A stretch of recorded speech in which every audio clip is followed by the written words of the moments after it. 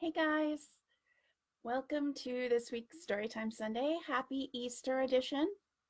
Even though we aren't doing an Easter book, it is still Easter. So um, I figured I would dress for the occasion and put on my best Easter jacket.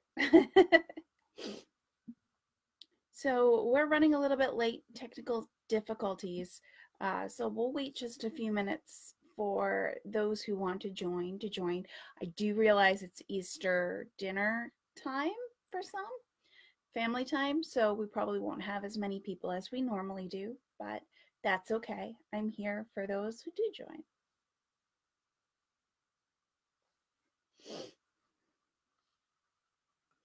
Hi, Nick. I hope you had a good Easter as well.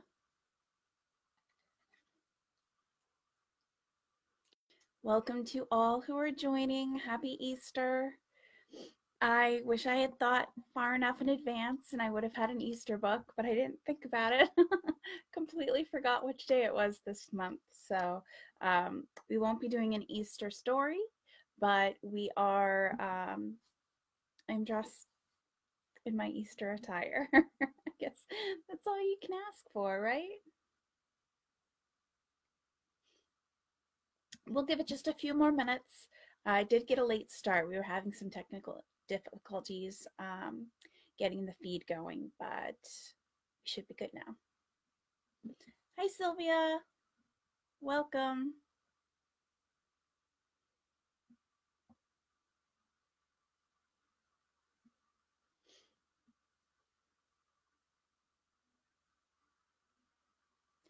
We'll give it just a few more minutes. I was going to try and find bunny ears, but A, all I have are mouse ears, and I'm not sure that my Mickey Mouse ears are um, Eastery enough. Oh, they're backwards. Are Eastery enough? I guess maybe. We'll pretend that they go up higher. You can't really see them anyhow, so we'll pretend. We'll pretend that those are Easter bunny ears. They're Easter Mickey ears, mini ears. We'll pretend.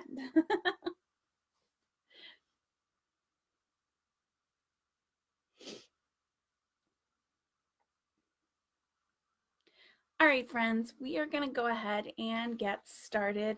Again, welcome to Storytime Sunday.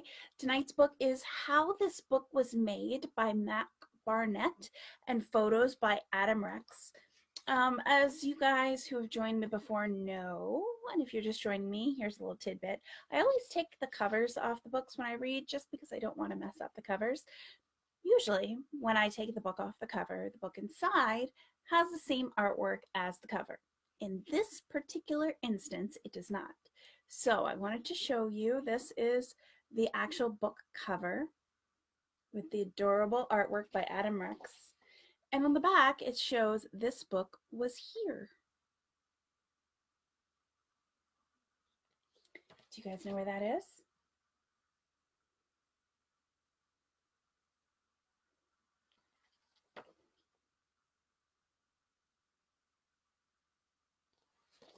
Maybe we'll find out.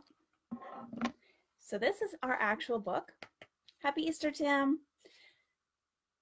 We've got a little uh,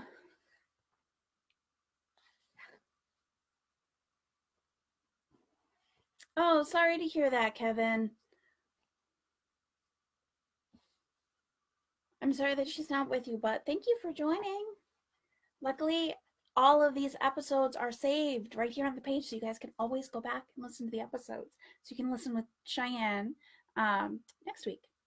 So inside, we have our tiger stripe. How this book was made, based on a true story. Mac Barnett, and Adam Rex.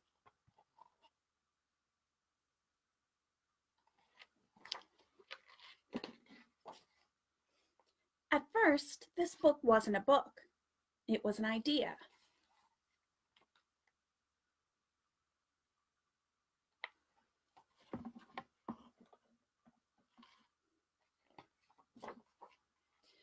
Ideas can come at funny times.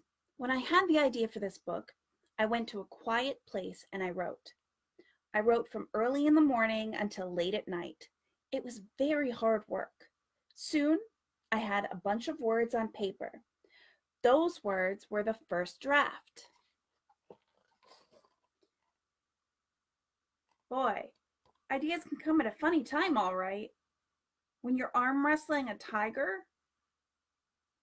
Hmm. First draft of this book was not so good. Neither was the second draft, or the third draft, or the twelfth. But writing lots of drafts is a very useful part of the writing process. For instance, when the tiger came back for revenge because I beat him in arm wrestling, I burned these drafts and scared him away. Now remember, this is based on a true story. At least that's what the book says. I worked and I worked, and with the 21st drafts, I was done. So I sent my words to my editor in New York City. An editor tells you what parts of your story are good and what parts you need to fix. She is like a teacher, only she works in a skyscraper and is always eating fancy lunches.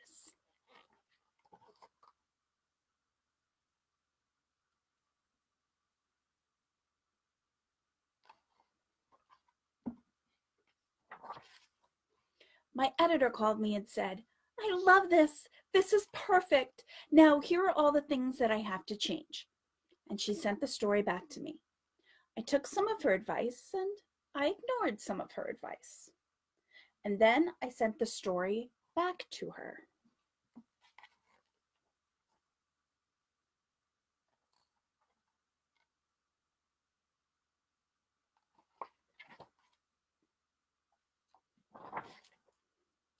She sent the story right back and asked me why I had ignored some of her advice. And I said I didn't think they were good ideas. And she said, I thought they were great ideas. And I said, well, let's agree to disagree. And she said, let's agree with me. And I said, you're not the boss of me. And it went back and forth and back and forth.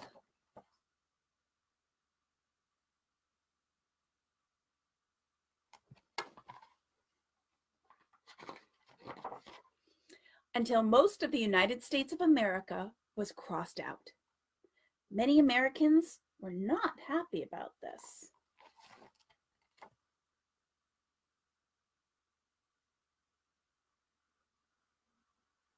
I will say, they missed Maine. if you could see, this is where Maine is located, up here, way up here. This is where I live. We completely got missed. So did Florida. Mickey Mouse got missed too.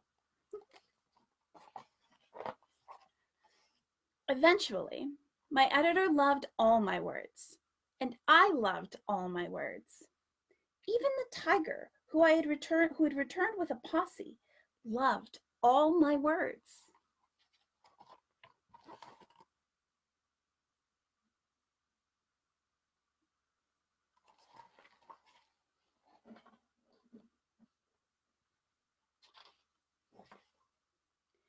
I was finished with writing but this book was still not a book. The words needed pictures, so my editor in New York sent them to an illustrator in Arizona. It took the illustrator a very long time to draw all the pictures for this book. I don't know what he was doing that whole time, but he must have been working very hard.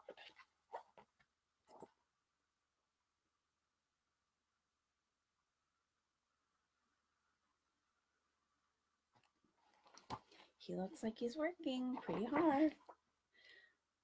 I sat around and waited. Finally, the illustrator sent all his work to New York, and his art and my text sat in a skyscraper, waiting to be printed. Look how long he sat around. He sat around so long he grew a beard.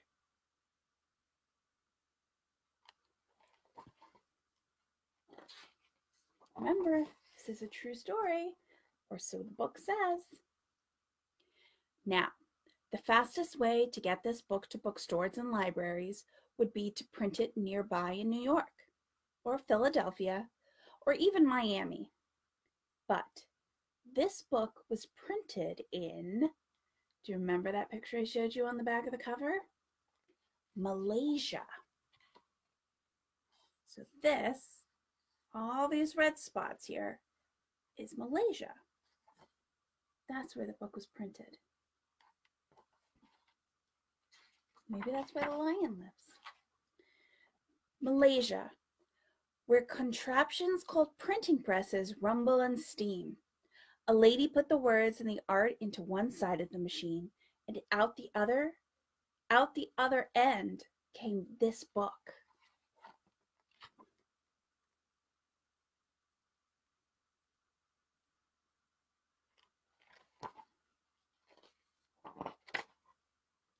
And then another book, and then another, and another, thousands and thousands of books. This book was buried below a great pile, so tall you could see it from space. Astronauts looked down at Earth that day and saw a stack of books and the Great Wall of China right next to each other. They smiled, then floated around a bunch while eating astronaut ice cream. Oh, I love astronaut ice cream. You guys ever had astronaut? I love the ice cream sandwiches. They're so yummy. And that's exactly what that astronaut is eating. She's eating ice cream sandwiches, astronaut ice cream sandwiches. Oh goodness, I love them. But that's science. This is literature. And at last, this book was ready to be read. It needed to get to the United States as fast as it could. Of course, the fastest way would be to put them on a jet, but this book got put on a boat. A slow boat took all the books across the sea. The journey was dull until the pirates arrived.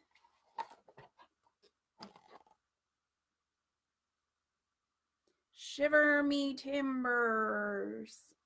Those don't look like nice pirates. Look at that flag. Uh-oh. Those look like grumpy pirates. What do you think? I'm thinking they're grumpy pirates. Yes, Tim, I agree with you. Astronaut ice cream is wonderful. The pirates swarmed the boat and quickly overran it. They tied up the crew and stole the captain's keys. The lead buccaneer kicked open the hatch to the ship's hold. The pirates held their breath and imagined their treasures. There was no gold inside, just books. Pirates don't read, so they sailed away.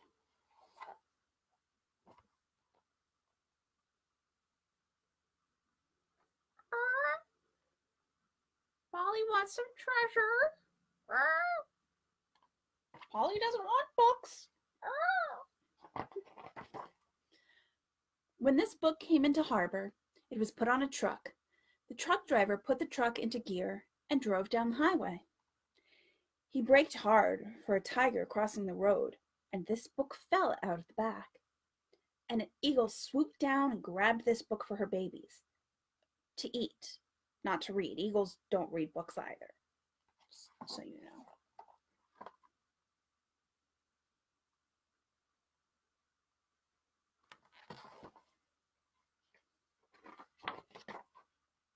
She ripped out a corner, but her chicks didn't like it. They pushed this book out of their nest. This book briefly served as a roof for a toad until it was picked up by a dog that brought it back to his owner, who lost it that night in a bad hand of poker.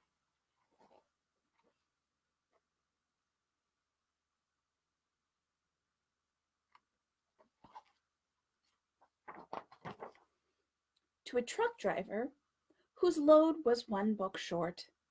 He made his delivery to a woman who put it on a shelf next to many other books. This book waited, and I waited.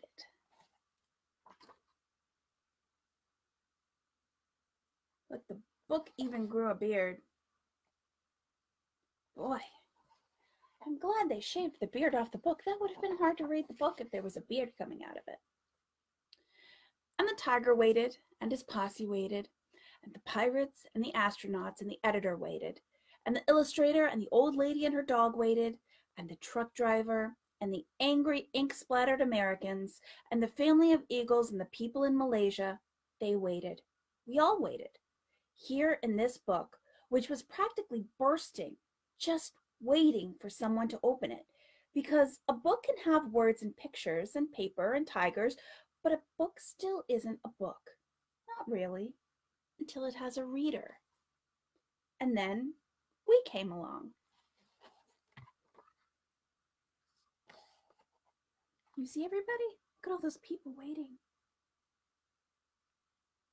All waiting for us to open the book to read. Wow. Boy, I'm glad that we read this tonight. Wouldn't want those people waiting any longer, would you?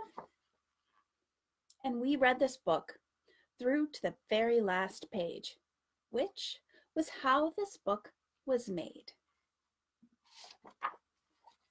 The end. There you go, guys. How this book was made by Mac Barnett with illustrations by Adam Rex, who I do believe did a little bit more work than how this book says that happened. Don't think he sat around in bed all day because the artwork was pretty good. So I think he did a little bit more work than he gets credit for. All right, guys, thank you so much. I would tell you what is on the list for next week. However, I'm not 100% sure. I think I know. But I have asked my friends over at the Briar Patch Books down in downtown Bangor to set aside some books for me. I have some ideas. I've been saving some things that I see around um, in my mind and in my phone, and I sent those over to Briar Patch in hopes of getting those books to read for next month. Um, so next week will be a surprise. Gotta love surprises. So you'll just have to tune in or just have to follow uh, Aktrez Fun. Tim, thank you. Yes, these are my. I didn't have bunny ears and my head felt like it needed something. So I'm wearing my rose gold mini ears. I may have to wear these more often. I like them a lot. I think they're cute. My rose gold mini ears with my my pink Easter jacket. And I put a little ribbon around my neck because I felt like it looked Eastery. You do what you can on short notice, right? Thank you, Serena. I appreciate it. I love them too. All right, guys. You all have a wonderful evening. Thank you for joining me.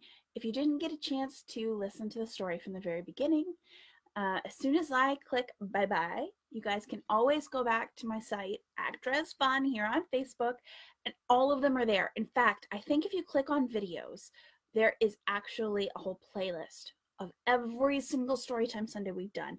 And we've been doing this since September or October of 2018. So we've got quite a few in there. So if you want something for you and your kids to do one night or you need some help settling them down, feel free to go back, share it with your friends, share it with your family, and uh, enjoy past Storytime Sundays. And in the meantime, stay creative, keep having fun, and make sure to visit your local bookstores keep them in business because without them, life would just not be as fun. Okay, guys, thank you so much. I will see you next Sunday, 8 p.m. Eastern Time for Storytime Sunday. In the meantime, have a good week. Happy Easter. Bye, guys.